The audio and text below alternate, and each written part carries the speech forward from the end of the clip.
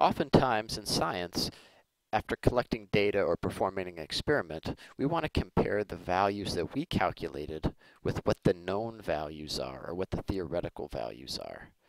And then based on how close our calculations are to what we thought we were supposed to get, well, we can do something called an error analysis, or we can calculate the percent error.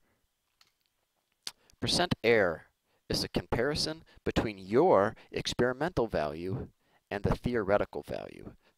So the experimental value, that's the value that you get in the lab, that you actually calculate yourself. The theoretical value, that's the value that um, other scientists believe believe it to be, or the known value. Sometimes it's called the accepted value. Sometimes it's called the true value. Either way, here's the formula. Percent error equals the absolute value, don't forget the absolute value, of the theoretical value minus your experimental value divided by the theoretical value, and of course, times 100. So be sure to copy this down or memorize it because we'll be using it quite a bit this year.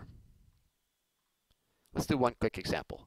Let's say you experimentally calculated the density of iron to be 7.08 grams per centimeter cubed. So this is your experimental value. Then you looked up the density in a textbook and you find it to be 7.87 grams per centimeter cubed. What is your percent error?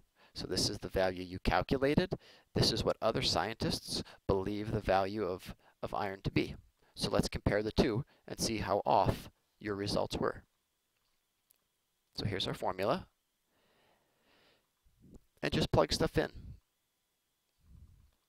So the theoretical value, remember, is 7.87. The value you got is 7.08.